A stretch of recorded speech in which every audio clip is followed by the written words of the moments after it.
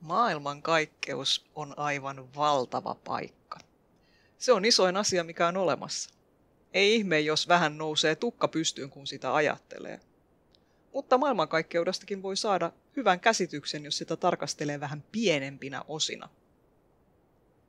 Tämä tarkastelu on hyvä aloittaa illalla omalta takapihalta, kun aurinko on laskenut. Aurinkohan on tähti, jota me kierrätään tämän maanimisen planeetan pinnalla. Jos taivas on pilvetön eikä piha ole täynnä häikäiseviä kirkkaita lamppuja, taivaalta voi erottaa valopisteitä. Jos kuu on taivaalla, se on niistä selvästi suurin ja kirkkain. Taivaalla voi näkyä muitakin melko kirkkaita pisteitä, jotka on muita meidän omaa aurinkoa kiertäviä planeettoja. Ja sitten siellä näkyy tietysti tähtiä. Ne on samanlaisia taivaankappaleita kuin meidän oma aurinko. Jos on oikein pimeää ja lähimmät häikäisevät katuvalot ja kaupunkien valot on oikein kaukana, taivaalla voi erottaa yli tuhat tähteä. Oikein pimeissä oloissa, ja ainakin jos ottaa kiikari tavuksi, voi Orionin tiimalasimaisen tähdistön vyön alapuolelta löytää himmeän sumutäplän. Se on Orionin suuri kaasusumu, jossa syntyy uusia tähtiä ja planeettoja. Ja kaiken yllä kaareutuu meidän kotigalaksin linnunradan himmeä juova, joka on taivaalla korkeimmillaan syksyisin. Näin me ollaan jo takapihalta löydetty oikeastaan oleellisimmat maailmankaikkeuden rakennuspalikat. On kuita, planeettoja, tähtiä ja kaasua, jotka elelevät galaksien sisällä. Katsotaan näitä kohteita kohta vähän tarkemmin. Mutta ihan ensin pitää kuitenkin esitellä yksi aivan oleellinen maailmankaikkeuden rakennuspalikka, joka on vähän jännempi, nimittäin pimeä aine.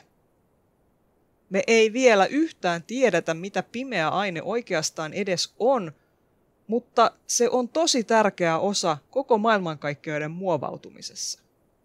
Me tiedetään, että se ei säteile ollenkaan valoa, eikä se muodosta kiinteitä kappaleita, kuten planeettoja, vaan ainoastaan hyvin pörheitä pilviä.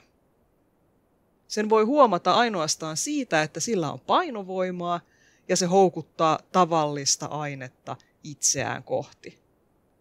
Pimeä aine ei varsinaisesti vaikuta mihinkään maailmankaikkeuden tapahtumiin, mutta se pitää asioita kasassa. Yli 13 miljardia vuotta sitten, ennen kuin tähtiä ja planeettoja oli edes olemassa, koko maailmankaikkeus sisälsi oikeastaan pelkkää kaasua, säteilyä ja pimeää ainetta. Pimeä aine muodosti valtavia pörheitä pilviä, jotka keräsivät kaasua itseensä. Ja kun riittävän paljon kaasua on samassa paikassa, sinne alkaa muodostua kaasukökkäreitä. Ja kun ne kökkäreet kasvaa, niistä kehittyy tähtiä. Tähdet on oikeastaan vain isoja kaasupalloja, jotka on niin valtavia ja raskaita, että niiden sisällä tulee hyvin kuuma. Ja kun siellä on tarpeeksi kuumaa, alkaa tapahtua jänniä reaktioita. Kaikkein yksinkertaisimpien atomien, eli vedyn, ytimet liittyy yhteen kuin leegopalikat ja niistä tulee uusia, erilaisia atomeita, heliumia. Samalla syntyy energiaa, joka alkaa kiivetä tähden ytimestä ulospäin. Kun se pääsee pinnalle, se vapautuu avaruuteen valona ja lämpönä ja vähän munkinlaisena säteilynä. Tästä syystä tähdet loistavat ja ovat kuumia.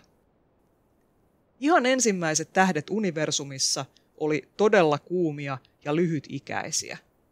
Niiden sisällä syntyi raskaampia atomeita ja niiden pintakerroksissa syntyi pölyhiukkasia. Kun nämä tähdet räjähti supernovina, ne levitti avaruuteen näitä raskaampia aineita ja pölyä. Raskaammat aineet ja pöly kertyi taas uusiin kaasupilviin, joissa syntyi uusia tähtiä. Pitkän ajan kuluessa avaruuden kaasupilviin tuli aina vaan lisää raskaampia alkuaineita, kuten happea, typpeä ja hiiltä, ja lisää pölyä. Lopulta näitä raskaampia aineita ja pölyä oli riittävästi, että syntyvien tähtien ympärille pystyi muodostumaan planeettoja. Kun me katsotaan kaukoputkella vaikka sinne Orionin suureen kaasusumuun, me voidaan nähdä siellä syntymässä olevia planeettakuntia. Siellä tähteä ympäröi kaasusta ja pölystä muodostunut kiekko, jossa planeettoja pikkuhiljaa rakentuu. Jos syntyvää planeettakuntaa katsoo sivulta, kiekossa oleva pöly peittää tummana taakseen kiekon keskellä syntyvän kirkkaan tähden. Nykyään me tiedetään, että melkein kaikkia tähtiä kiertää ainakin yksi planeetta. Kun me puhutaan tällaisista muita tähtiä kuin meidän aurinkoa kiertävistä planeetoista, me kutsutaan niitä eksoplaneetoiksi. Eksoplaneetat on hyvin kaukana, joten meillä ei ole niistä vielä hienoja valokuvia, mutta taiteilijat on kuvitelleet, minkä näköisiä ne voisivat olla. Oikeasti me tiedetään näistä planeetoista lähinnä, minkä kokoisia ja kuinka painavia, eli kuinka massiivisia ne ovat ja kuinka lähellä tähteään ne kiertää. Näiden tietojen perusteella me voidaan vähän päätellä, minkälaisia ne planeetat ehkä oikeasti on. Tutkimalla sitä, millaisia aineita niiden ilmakehässä löytyy, voidaan ehkä tulevaisuudessa löytää jopa elämää näiltä planeetoilta. Mutta vielä toistaiseksi maapallon ulkopuolella syntynyttä elämää ei ole löydetty. Kaasu, tähdet ja planeetat ja se arvoituksellinen pimeä aine on niitä rakennuskappaleita, joista muodostuu vielä isompia kokonaisuuksia, eli galakseja. Galakseja on monen näköisiä. On ihan pieniä ja epäsäännöllisen muotoisia kääpiögalakseja, jotka usein ovat myöskin hyvin himmeitä. Kääpiögalaksien kohtolona on usein sulautua osaksi muita galakseja, jolloin lopputuloksena on yksi suurempi galaksi. On olemassa myös isompia epäsäännöllisiä galakseja, kuten linnunradan naapurit, suuri ja pieni Magellanin pilvi, jotka voi nähdä eteläisen pallonpuoliskon taivaalla. Spiraaligalaksit ovat litteitä ja leveitä, vähän kuin suuria pitsoja. Linnunradan suuri naapuri, Andromedan galaksi, on spiraaligalaksi ja itse asiassa linnunrata on myös spiraaligalaksi.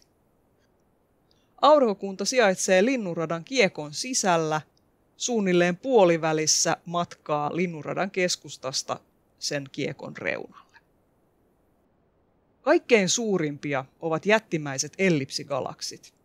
Ne muistuttavat muodoltaan palloa tai puikulaista amerikkalaista jalkapalloa. Ne ovat kokeneet monia monia galaksitörmäyksiä, sulauttaneet itseensä pienempiä galakseja ja kasvaneet siten aivan jättimäisen kokoisiksi. Kaikkien suurten galaksien keskellä on erittäin jykevä musta aukko. Tällaiset supermassiiviset mustat aukot voivat vastata miljoonien tai jopa miljardien aurinkojen massaa. Niistä ei kuitenkaan ole galakseille mitään vaaraa. Myös linnunradan keskellä on supermassiivinen musta aukko. Siitä on saatu otettua hiljattain kuva. Kuvassa näkyy keskellä mustan aukon varjo ja sen ympärillä aukon taivuttamaa kirkasta valoa oranssina. Galaksit on oikeastaan vähän niin kuin suklaarasioita. Niissä on aina niitä samoja juttuja sisällä. On se ananaskonvehti, on sellainen, missä on kokonainen pähkinä sisällä, ja sitten on niitä, missä on pelkkää samanlaista suklaata läpikotaisin. Aivan samalla tavalla galaksit on myös muodostuneet samantapaisista aineksista. Niissä on kaasua, tähtiä, planeettoja, mustia aukkoja ja pimeää ainetta. Galaksit ei itse asiassa olekaan mitään kiinteitä kappaleita, vaan niissä nämä tähdet ja muut osat vaan hengaa yhdessä oman yhteisen painovoimansa vaikutuksen alaisina. Ja galaksejakin on aivan valtavasti. Kun me katsotaan oikein suurella kaukoputkella hyvin kauas maailmankaikkeuteen, näkymät on suunnilleen tällaiset. Näkyy pelkästään galakseja. Pieniä ja suuria galakseja, nuoria ja vanhoja galakseja.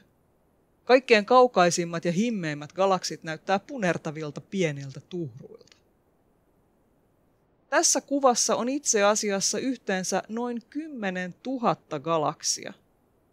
Ja kuitenkin nämä galaksit on taivaalla paljon, paljon kuuta pienemmällä alueella. Koko taivaalle mahtuisi yhteensä 26 miljoonaa tällaista kuvaa rinnakkain. Ja niissä kaikissa olisi suunnilleen sama määrä galakseja. Galakseja on meidän ympärillä taivaalla ihan joka paikassa.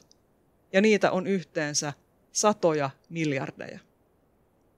Onko maailmankaikkeus itse asiassa ääretön? Me ei tiedetä. Eikä me ehkä koskaan saadakaan tietää. Valo on kaikkein nopein asia maailmankaikkeudessa, mutta edes valon kulku ei ole äärettömän nopeaa. Maailmankaikkeus on ollut olemassa vasta noin 13,8 miljardia vuotta.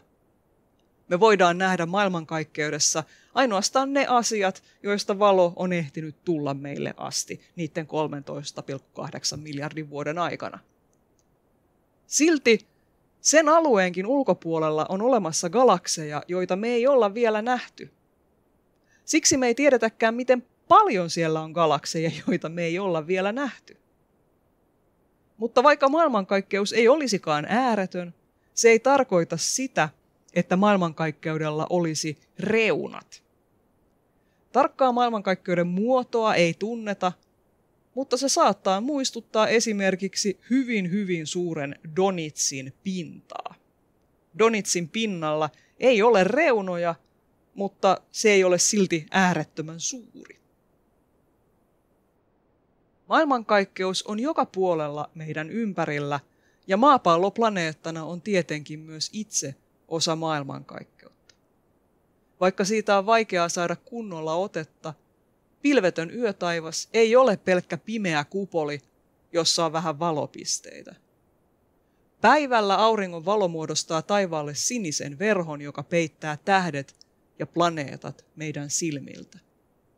Mutta yöllä on toisin. Yötaivas on ikkuna maailmankaikkeuteen.